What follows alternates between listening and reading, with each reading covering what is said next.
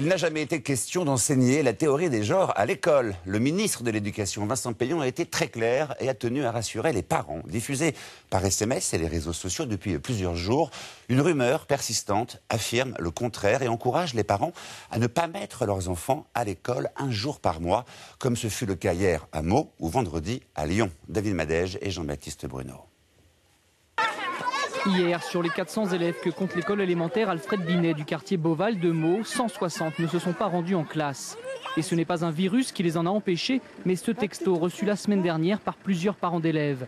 À l'origine de ce SMS, un mouvement appelé Journée de retrait, qui affirme que la théorie du genre va être enseignée aux enfants, un discours relayé par des arguments chocs qu'on allait dès la maternelle apprendre aux enfants euh, euh, la sexualité euh, avec démonstration. On craint que quoi Que nos enfants ont des mœurs plus libérées qu'ils en ont déjà. Je pense que les enfants en ont déjà assez dans la tête pour avoir des mœurs encore plus libérées à l'école.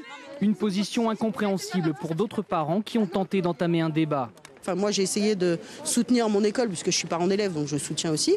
non, elle ne démorde pas que c'est pas pour l'égalité homme-femme, c'est pour instaurer plus que ça. Quoi. Depuis le 13 janvier dernier, l'école Alfred Binet fait partie des 600 établissements qui expérimentent le dispositif ABCD Égalité, dont l'objectif est de lutter contre les stéréotypes entre filles et garçons, de l'école maternelle au lycée. Par exemple, un garçon peut-il faire de la danse? Une fille peut-elle devenir maçon? Voici quelques-unes des questions que les professeurs peuvent poser aux élèves. Un enseignement bien loin des thèses mises en avant par le mouvement Journée de retrait les messages qui, euh, qui, sont diffusés sont mensongers. Ils sont mensongers parce qu'ils parlent d'éducation à la sexualité dès la petite section maternelle, ce qui est faux, euh, puisque c'est bien un travail sur l'égalité entre les filles et les garçons.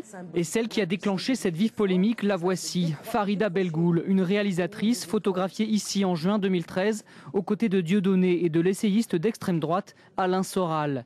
Depuis une dizaine de jours, elle a planifié plusieurs journées de retrait des enfants de l'école, comme celle de Meaux, à Lyon et Clermont-Ferrand vendredi, en région parisienne hier, à Marseille et Toulon aujourd'hui.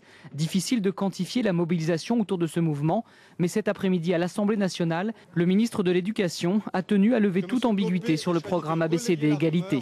N'écoutez pas ceux qui veulent semer la division et la haine dans les écoles. Ce que nous faisons, ce n'est pas la théorie du genre, je la refuse, c'est promouvoir les valeurs de la République et l'égalité entre les hommes et les femmes.